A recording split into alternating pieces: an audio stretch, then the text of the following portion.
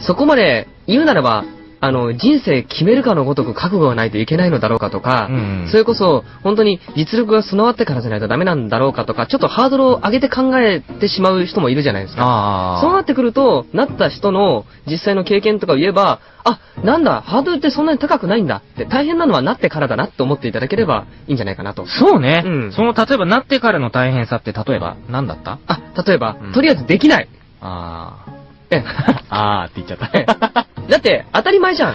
あの、ね普通に考えなった、あこれはっきり言いますよ。うん自分、今こういう立ち位置で話してますけど、うんあのー、な、まかりなりにも、僕は神谷さんの後輩ですけど、でも10年やっております。ううんん、もう11年目に入ります、今年で。そういうこと、木の風水のね、第3弾が発売された頃には、丸11年目に入るんですよ。丸10年が経過して、僕5月デビューだったんで、うんあのーそうなってくると、できなかった頃がいろいろ経験、まあ、紆余曲折、あの、いろいろ人にやめちまえとかいろいろ言われながらも、うんねお前下手くそだなとか、本当に言われながら、なんとか頑張ってきて、まあ、この程度ですけど、なんとかなれたと。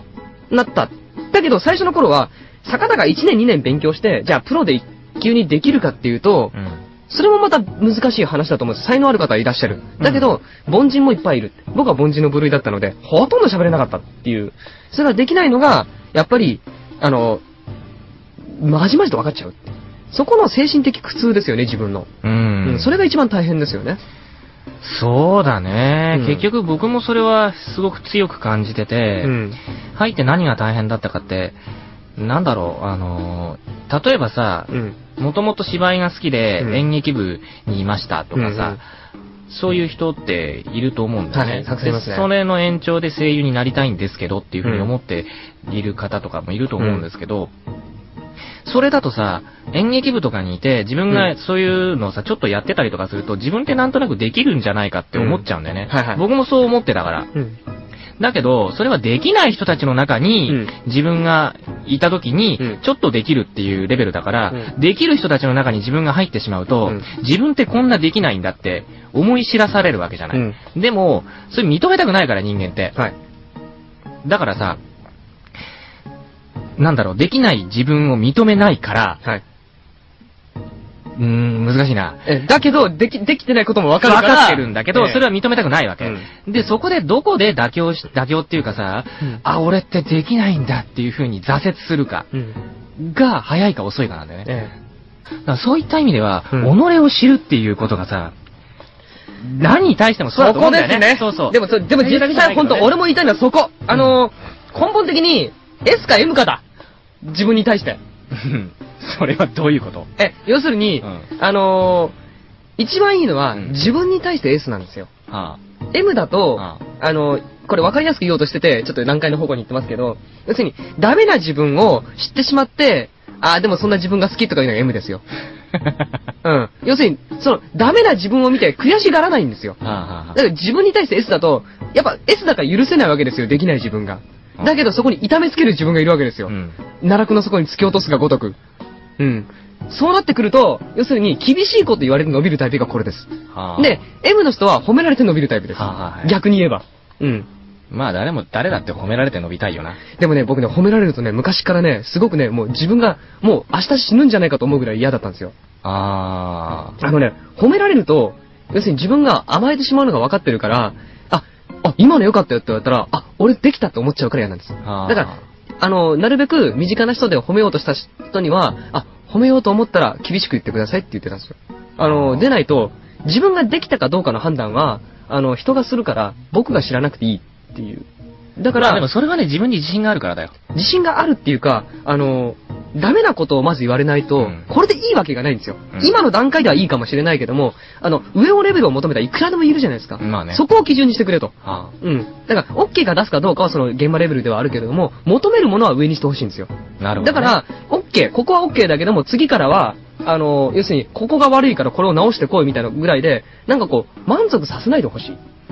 と思ってたんですよ。ことさ言うことはないですけど。だから、必ず自分の中での、あの、特に若手の頃やってないやったものは、必ずテープ、現場、ナレーションだろうが何だろうが、テープもらって、うちで何回も聞いて、んで、自分がいいと思ってる価値観の、そういう読みのものとかと比べてみて、一体自分のどこが足りないのかとか、徹底的に聞きまくって、で、それで、あ、でもこれができないのはなんでだったら自分の肉体的にこういう癖があるからだとか、そういうのものとかをことことん洗い直したことが、ず、ね、二十歳ちょっと前ぐらいあったんですよ。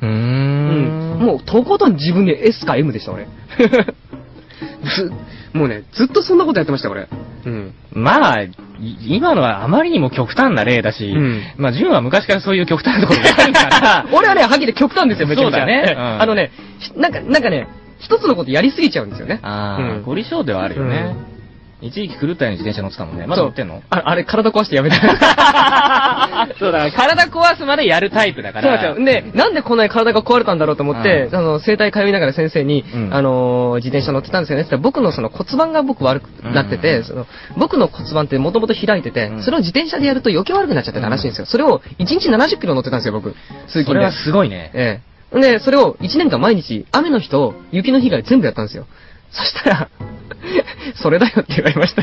そりゃそうだよ。ええまあね、これはね、悪い例です、皆さん。参考にしてはいけません。はい。そんなことしなくても、なり、ななりたければなったらいいんじゃないかそうな。。なれます。なれます。問題は自分でもね、ぶっちゃけそうなんだよ。そう。ななりたければなればいいし、言いたければ自分は声優だって言えばいいんだよ。そうだよ、自称声優でもいいじゃん。そう。だけど問題は自分がどこで満足できるかですよ。まあね、うん満足なんか絶対できないんだけど、できないですねうん。えそれはそうは思うわ。うんああ皆さん参考になってんのかな、これ。ていうか、こういうこと聞きたいの？これ、このコーナーって。違うね。じゃあ、なったなりそめでも言う？お、お、引くよ、俺。何度も言ってるからみんな知ってると思うけど。んじゃあいいんじゃないかな。あ、いいや。じゃあ、やめよう。やめよう。例えばさ、じゃあ、めさっきさ、ちょっと触れようと思ったんだけどさ、はいそのみんながうんどういう風に声優についてって思ってるのかっていうのをさ、ちょっと読んでみて、はいはい例えばラジオネームとんちゃんさんなんですけれども、えー以前から気になったことをメールします。はいはい。えー私は子供の頃からアニメが大好きで、特に小学生の頃は私の住んでいたところでは月曜日から金曜日まで夕方5時から1時間アニメが放送されていて、うん毎日欠かさず見ていました、うんえーその頃は声優というお仕事があるという認識はなくて、このキャラクターはこの声という刷り込みみたいな感じで覚えているので、うん今はその声優さんを別の、えー別のアニメや吹き替えで見みえー聞いても、うんどうしても昔見たアニメのキャラクターが浮かんできてしまい、うん馴染めない感じがすることがありますと。うん。えー、それについてどう思いますかっていうふうに言ってるんだけど。まあ、でもこれは、いい悪いではなくてうん、当然ですよね。そうだね。うん。だから当たり、前じゃないかな。初めて見たものが自分の中のスタンダードになるっていうインプリンティングはう、ん。それ普通にあることで、そう、うん。僕はね、それがすごい嬉しいなというか、うん。その小学生ぐらいの時にうん。見たものとかさ、聞いたことって、しかも自分が見たいと思って見てるじゃない、うん。その、強制的にさせられてるわけじゃなくて、自分が好きだと思って見て、見たりしてるものって絶対忘れないんだよね。忘れないですね。そう、だから僕がさ、その声優という商売になってから、名前と声が一致し始めたんだよ。うんはいはいはいはい。その先輩方の。はいああ、あの役やってた人だ、はいみたいなのって、そういうのってさ、全然認識してさ、なんだろう、見てないけれどもさ、あのー覚えてるじゃん、やっぱ声って。はい覚えてますね。それってすごいよね。はいそういう風になりたいなと僕は思っている、実は。そんなことない？僕の場合はですね、うこれまたゆ結構極端なんですけど、うんまあね、うん。うん正直僕が認識されなくていい。あで、あのーやったものが面白いと思ってくれればそれでいい。で、うん極論言えばこうなんですよ。あまあだからその声という点ではってことで、だと思うんだよね、トンちゃんさんが言ってえるのはね。えだから、あのーできれば、これ欲です、僕の。うんあの、あの声をやってた人だって気づかれないまま面白いと思わせたいなっていうのが僕の。感覚なんですよまあね、うんそらもちろん究極だけれど。究極なんでそんなことありえないんですけど。ないね。ないんですけど。やっぱり声うん。だからその声優っていうものに興味を持って、持っているわけじゃないトンちゃんさんはさ。ええええだからそういった意味ではやっぱり、うん、そういう見方になってなってしまう。そういう聞き方になってしまってて、あはい。普通の人、はい。全然声優さんとか全く知らねえよっていう人だったらそういう風な見方してくれると思うんだよね。うんええだからそれは究極に僕らはそう嬉しいね。ええ。う。ん、だからその中で声優っていうその声に特化したところで、うん。さらに一歩進んだところで聞いてくれてる時にさ、あのーあ、あのキャラやってた人がまたこういう役やってるんだ。でもなんか前のキャラクター被っちゃうなっていう風に思ってくれるのも、それはそれで僕はありだと思う。うん。あそれはそれでありなんですけど、よく言えば、近いけれどもやっぱり違うなと思わせない。まあもちろん違う。っていうところですね。